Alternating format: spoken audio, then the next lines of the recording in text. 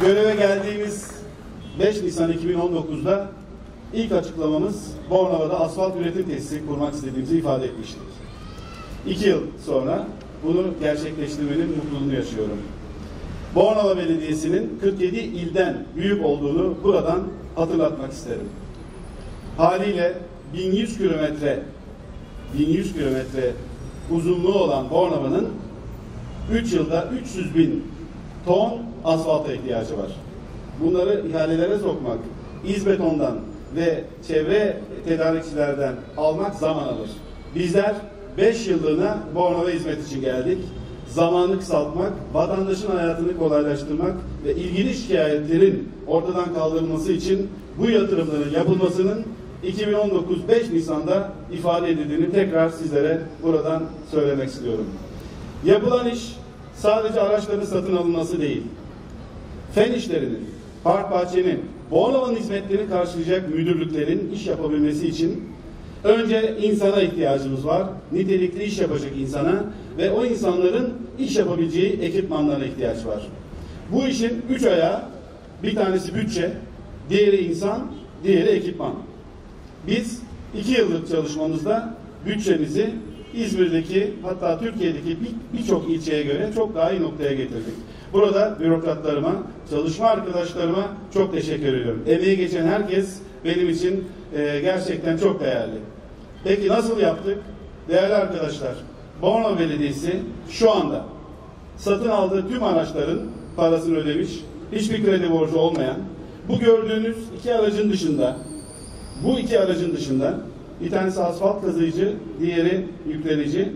Silindir geliyor, dört tır geliyor, ee, bir iki tane kamyon geliyor, ona tamamlıyoruz. Bunların da parası ödendi. Önümüzdeki hafta onlar da teslim edilecek. 15 gün içinde de asfalt üretim tesisinin e, bitmiş olarak düğmesine basacağız. Şimdi bu programları bu programları biz yaptık. İki yıllık, önümüzdeki iki buçuk yıllık dönem içerisinde Bornova'nın yol sorununu ortadan kaldıracağız.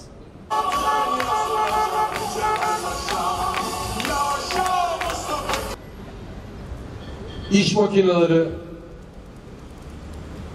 çöp toplama araçları, geçmişte taşeron sistemiyle ve kiralama sistemiyle yapılan ne kadar araç gereç varsa hepsi bir kenarıya bırakıldı. Taşeron sistemi bitti. Belediye kendi satın aldığı araçlarla çok önemli bir döneme imza attı.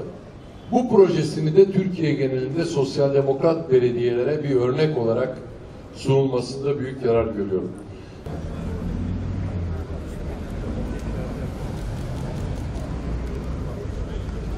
Bugün e, belediye başkanımızın yaptığı çok ciddi bir iş.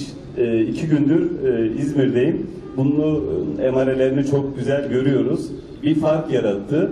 E, belediye başkanları tabii ki çalıştığı kentte insanların yaşamlarını kolaylaştırmak, e, bunlara değer katmak için çalışırlar.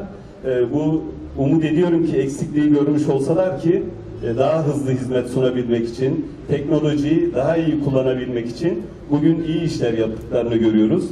E, ben tekrar Gülümür halkının selamlarını, Kardeşkent'teki bu Bornova Belediyesi ile geliştirdiğimiz ilişkin daha iyi noktalarına gideceğini düşünerek hepinize saygılarımı sunuyorum. Hayırlı olsun. Başkanımı tebrik ediyorum.